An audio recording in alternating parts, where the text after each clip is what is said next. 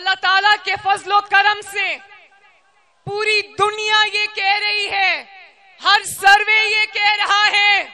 और आज भी मैं सुबह टीवी देख रही थी, सुबह एक और सर्वे आया है जो कह रहे हैं कि इस वक्त अल्लाह ताला के फजलो करम से मुस्लिम लीग नून मकबूलियत में तमाम जमातों को पीछे छोड़ाई है।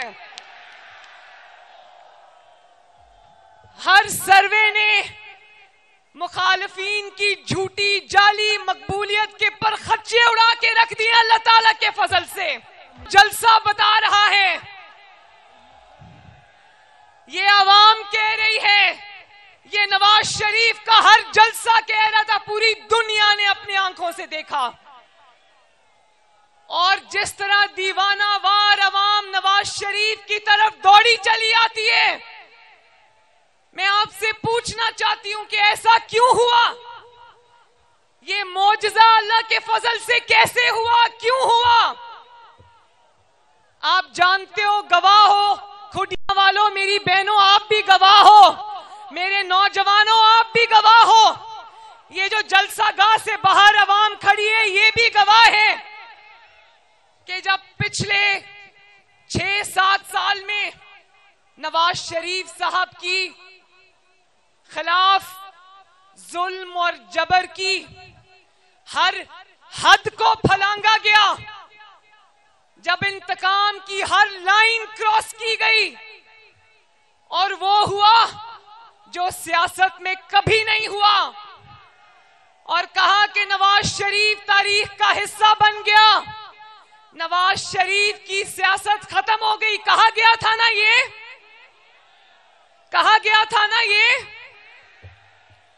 आज अल्लाह ताला का करना देखो कि सियासत शुरू भी नवाज़ शरीफ से हो रही है, खत्म भी नवाज़ शरीफ पर हो रही है। मरियम नवाज़ शरीफ की सारी तकरीर नवाज़ शरीफ से शुरू होकर नवाज़ शरीफ पर खत्म होती है। नवाज़ शरीफ साहब खुद यही हँसते हैं कि तुम्हारी सारी तकरीरों में नवाज़ शरीफ के अलावा और कोई बात नहीं होती।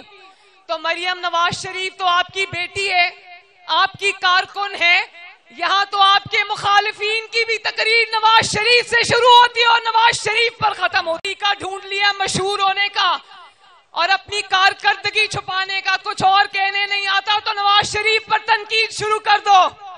मगर आज मैं खुडिया के आवाम का शुक्रिया अदा करना चाहती हूँ और दिल की गहराइयों से शुक्रिया अदा करना चाहती हूँ।